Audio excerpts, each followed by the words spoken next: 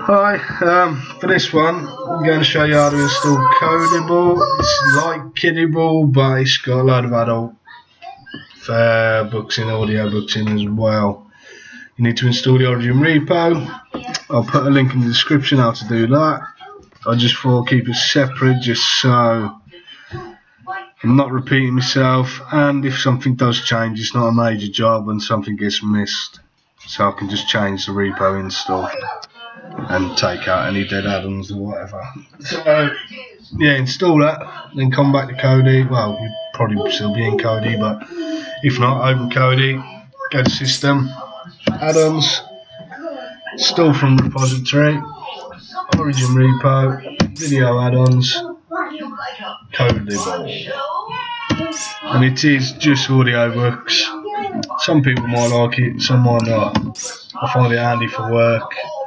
I'm doing a boring job, stick one of these on, it kills a couple of hours. Well, some can kill a couple of days, they're quite long, but.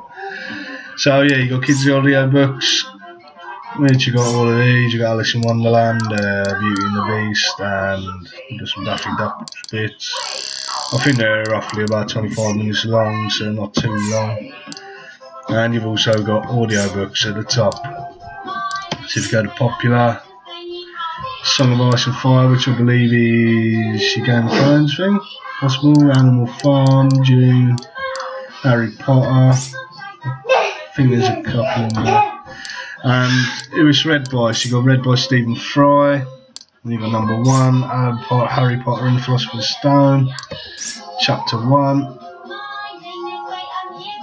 Press on it and it should play. It takes a second on this if I remember right.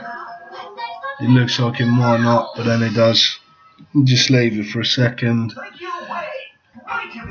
Harry Potter and the Philosopher's But yeah, some good ones. If you like this sort of stuff, then there's plenty to last you a little bit. It's a bit glitchy with the coding by the looks of it, but I think this is one of the author's earlier add-ons, so you might need to go back and look at it. But yeah, there's a few in there, popular if you go to all. There's quite a bit in there. So some of them a little less known, so you might not enjoy them so much, but you never know, you might enjoy someone else's, some new stuff. If you've got the M4B, I don't think you want that one, you want the MP3. If you can get that. The Cedar Closet. Some have been quicker than others, as you've just seen. Um, hope you enjoyed that. Hope you enjoyed the tutorial and hope you enjoyed the add-on. Please like, share and subscribe and I'll see you on the next one.